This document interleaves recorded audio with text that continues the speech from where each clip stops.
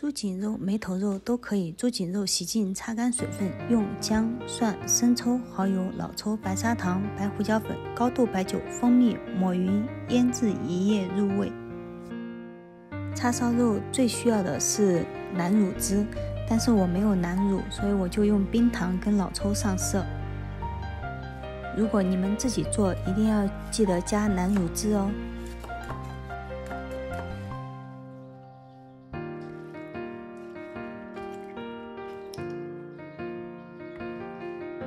第二天提前一小时拿出来回温，锅烧到七成热，什么都不放，下猪肉，两面煎一下。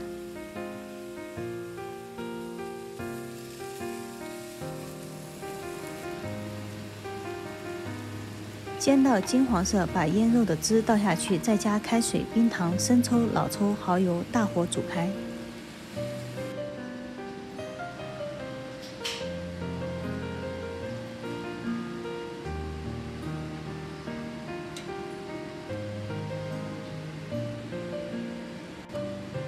转小火煮二十分钟，建中记得揭开锅盖翻面。二十分钟后大火收汁。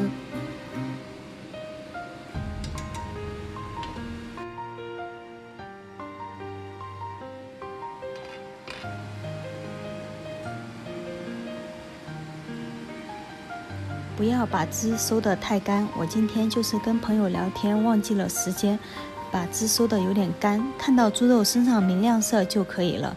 捞起，斜切片，装盘即可。这个菜可以做最后一道菜来做，上桌就吃，热乎好吃不腻，快来试试吧！